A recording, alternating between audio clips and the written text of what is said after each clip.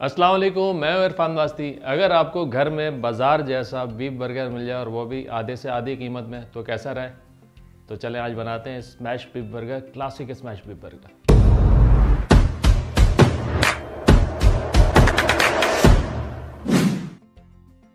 अच्छा बर्गर की जो साइज़ है ना, वो कुछ ख़ास नहीं है।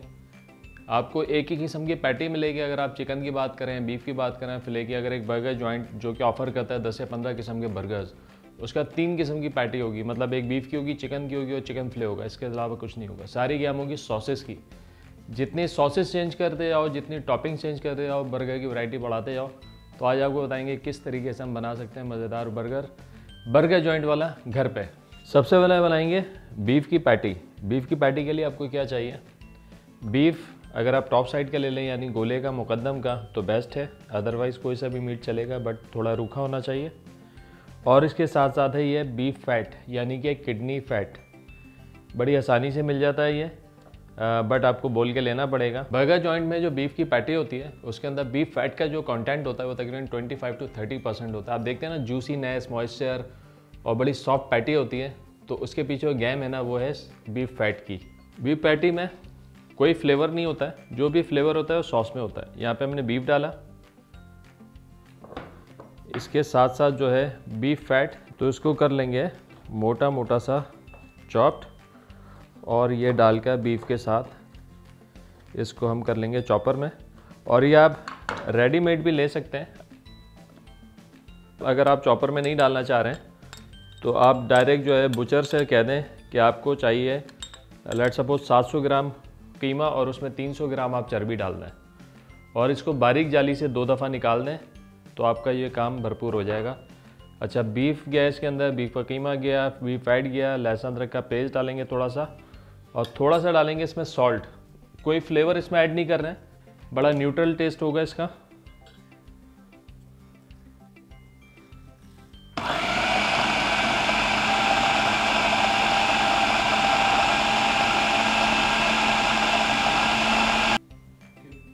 मेक श्योर कर लें कि कीमा अच्छे से पिस गया है और कीमा और फैट अच्छे से एक जान हो गया है।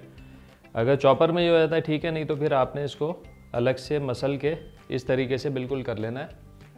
और फिर आप इसके अपनी बॉल्स बना लेंगे तकरीबन 120 से 150 ग्राम तक की और इसको 10 से 15 मिनट सेट होने के लिए छोड़ दें। सॉस के लिए पैन में पानी डालेंगे। उसके बाद चीज़ ये चीज़ मोजरेला चीज़ है। उसके बाद mayonnaise, mustard paste, red chilli crushed, salt, और अब इसको इतना पकाएँगे कि ये एक थिक सॉस बन जाए। ये देखें, सॉस तैयार हो गई है। इतना थिक इसको रखना है, जब थोड़ा ठंडा होगा तो ये और ज़्यादा थिक हो जाएगा। अगर इस वक्त ज़्यादा थिक करेंगे तो बहुत ज़्यादा थिक हो जाएगा। आपने कंसिस्टेंसी इसकी यही रखनी है।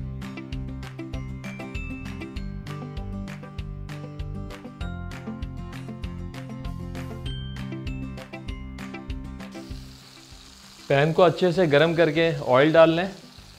उसके ऊपर आपने बीफ मिन्स की बॉल डाल के उसको करना है स्मैश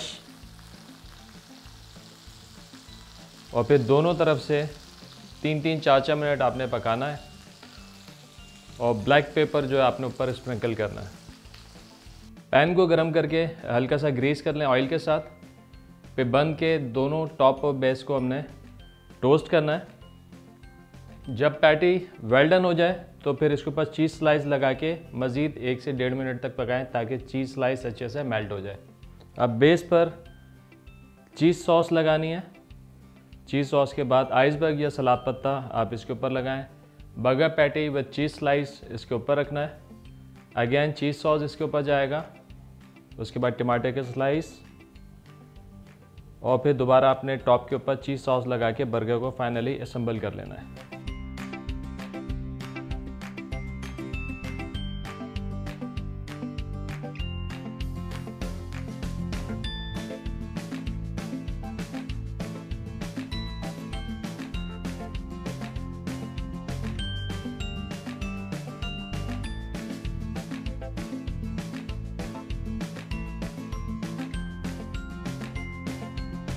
तो जनाब स्मैश बिप बर्गर तैयार हैं, बनाइएगा ज़रूर, ट्राई ज़रूर कीजिएगा फीडबैक भी ज़रूर दीजिएगा। अगर आप लोगों ने अभी तक चैनल को सब्सक्राइब नहीं किया है तो जल्दी से कर लें, ताकि हर नई आने वाली रेसिपी सबसे पहले आपको मिले। फिर मिलेंगे, खुदा हाफिज़।